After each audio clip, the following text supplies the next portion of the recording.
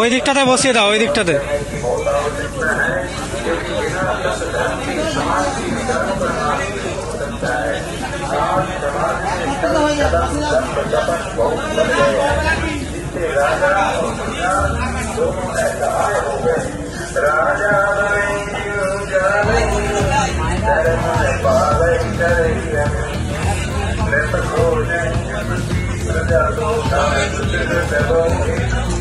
आज बिना नीति जाने राजा बन रहे हैं इसलिए रात का पालन करके अन्याय के रास्ते पर चल रहे हैं आज राजा सब समय अपनी पूजा के शोषण के उपाय सोचता रहता है और स्वयं का स्वार्थ पूरा करने के लिए बहुत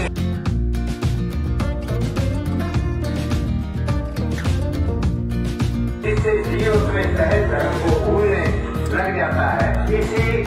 के विरुद्ध ग्रंथि पड़ जाती है, जो नित्य नए पाखंड के कारण तुरंत चली जाती है। मंदिर, मस्जिद, अरुण द्वारा चर्च मठ सब पाखंड, हमारा धर्मशाली पे सब सिखाई। सुन सुन, झूठी गवा भरमाई। मंदिर, मस्जिद, गुरुद्वारे, चर्च और मठ आदि प्रमुख संस्थाएँ बहुत पाखंड करती हैं। इन संस्थाओं में धर्म के अलावा सब पाखंड सिखाया जाता है।